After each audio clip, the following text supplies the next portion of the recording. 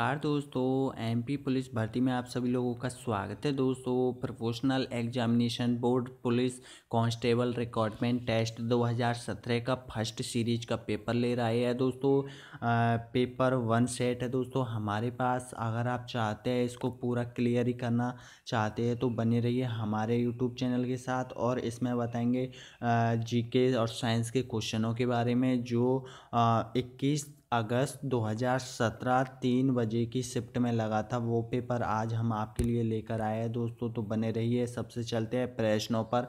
आप लोग देख सकते हो उसमें से कितने प्रश्न कर पाएँगे हल। तो दोस्तों, स्टार्ट करते हैं। चल तो यहाँ पर पहला क्वेश्चन है आपकी स्क्रीन के सामने। वह प्रधानमंत्री कौन है जिसका सबसे लंबी अवधि का कार्यकाल रहा था?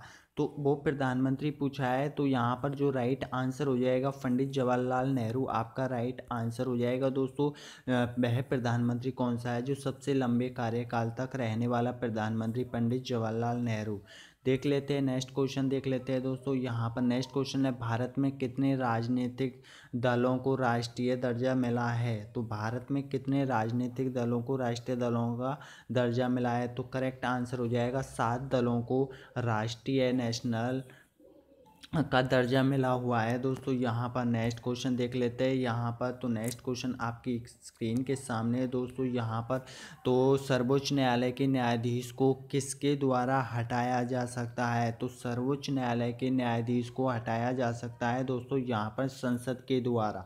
ऑप्शन नंबर ए यहाँ पर राइट है। दोस्तों पिछली बार एग्ज़ाम में आया हुआ क्वेश्चन है। दोस्तों, यहाँ पर नेक्स्ट क्वेश्चन देख लेते हैं। तो नेक्स्ट क्वेश्चन है, सतीश धवन अंतरिक्ष केंद्र स्थित है। सतीश धवन अंतरिक्ष केंद्र कहाँ पर स्थित है? तो यहाँ पर श्रीहरि कोटा में हो जाएगा दोस्तों। यहाँ पर राइट ऑप्शन नंबर टू यहाँ पर राइट हो जाएगा श्रीहरिकोटा में। एमपी पुलिस में पूछा गया। पिछली बार एग्ज़ाम में क्वेश्चन है दोस्तों। भारत में किस राज्य में अधिकतम वन अनाच्छादन फॉरेस्ट कवर है?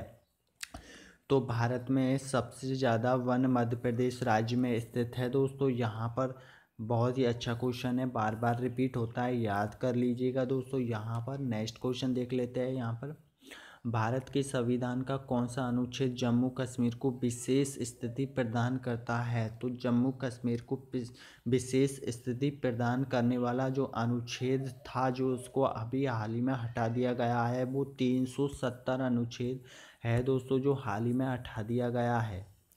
यहाँ पर ऑप्शन नंबर टू राइट हो जाएगा दोस्तों। पूछ लिया गया है, पिछले एग्ज़ाम में याद ज़रूर कर लीजिए, क्योंकि पिछले एग्ज़ाम से आने वाले क्वेश्चन ज़रूर रिपीट होते हैं आने वाले एग्ज़ाम में। भारत में सौ प्रतिशत विद्युतकृत प्राप्त करने वाला कौन सा राज्य है?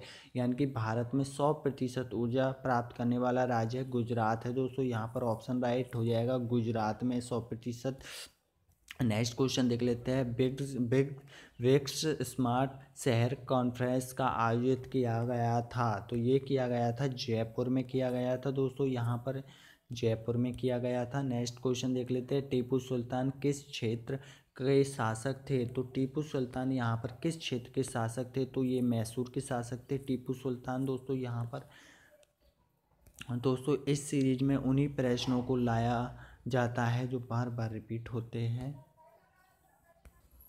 नेक्स्ट क्वेश्चन है दोस्तों, यहाँ पर भारत में बारह ज्योतिष लिंग है, जिनमें से दो मध्य प्रदेश में स्थित है। तो यहाँ पर मध्य प्रदेश में स्थित है उज्जैन और ओंकारेश्वर में है।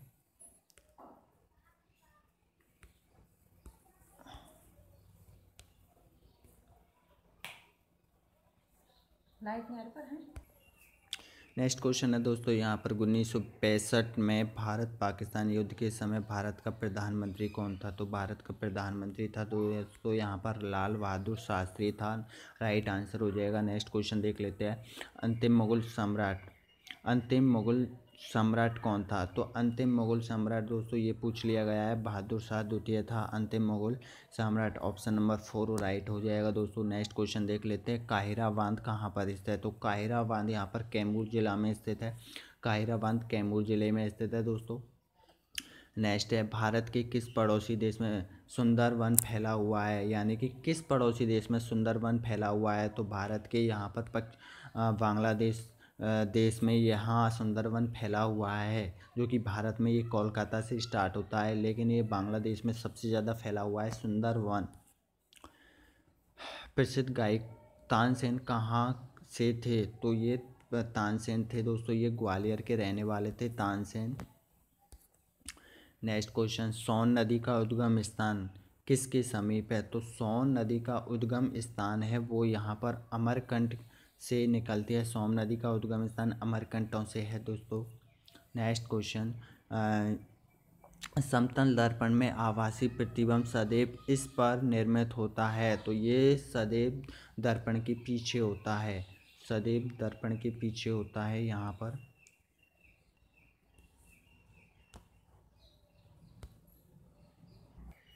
नेक्स्ट क्वेश्चन है दोस्तों, उस रचना का नाम बताइए जो पशु कोशिकाओं में आसपास परिवेश में कोशिका आयस को पृथक करती है। तो यहाँ पर कोशिका झिल्ली राइट आंसर हो जाएगा। ये कोशिका झिल्ली हो जाएगा राइट आंसर नेक्स्ट क्वेश्चन देख लेते हैं यहाँ पर। गेहूँ एक बीज पत्री है, क्योंकि गेहूँ एक बीज पत्री है, क्योंकि इसमें रेशेदार जड़ प्रणाली है। रेशेदार जड़ प्रणाली है तो इसे बीज पत्र की संज्ञा दी गई है। दोस्तों, यहाँ पर राइट आंसर हो जाएगा हमारा। नेक्स्ट क्वेश्चन देख लिए। संयोजी ऊतक का एक उदाहरण है तो संयोजी ऊतक का उदाहरण है, उपयुक्त सभी। इनमें से सभी ये उदाहरण है दोस्तों संयोजी ऊतक के। नेक्स्ट क्वेश्चन देख लेते हैं। यहाँ पर ओबामा में अलैंगिक जनन किसके माध्यम से होता है? तो द्वितीय खंड के माध्यम से होता है दोस्तों। यहाँ पर द्वितीय खंड के माध्यम से होता है। नेक्स्ट क्वेश्चन देख लेते हैं। बड़े बांधों के निर्माण का विरोध के कारण होता है, उपयुक्त सभी के कारण होता है। बड़े बांधों का, दोस्तों, यहाँ पर स... नेक्स्ट, सोर सेल किसके बने होते हैं? तो सोर सेल अर्धचालक के बने होते हैं यहाँ पर। राइट आंसर हो जाएगा, अर्धचालक के बने होते हैं सोर सेल नेक्स्ट किस प्रकार की पेशी लंबी गतिविधियों के द्वारा थक जाती है? तो ये धारीदार पेशी जो लंबी अवधि के द्वारा थक जाती है। नेक्स्ट क्वेश्चन देख लेते हैं। यहाँ पर निम्न में से क्या अधिक ठंड के विरुद्ध ध्रुव वालुओं को रोध प्रदान करता है? बसा परत बसा परत, यहाँ पर राइट आंसर है दोस्तों। यहाँ पर नेक्स्ट क्वेश्चन निम्न में से कौन एक संपर्क बल का उदाहरण है? तो यहाँ पर निम्न में से एक घर्षी बल संपर्क बल का एक महत्वपूर्ण उदाहरण है। तो दोस्तों, ये क्वेश्चन हुए थे। पिछली बार एग्ज़ाम में आए हुए पूरा पेपर आपके लिए लाए हैं हम। साइंस और जीके के कुछ क्वेश्चन है जो आपके लिए पूछे गए थे एमपी पुलिस भर्ती 2017 में। तो फिर से हम दूसरा शिफ्ट का पेपर आपके लिए लेकर आएँगे। दोस्तों, बने रहिए हमारे यूट्यूब चैनल के साथ। धन्यवाद।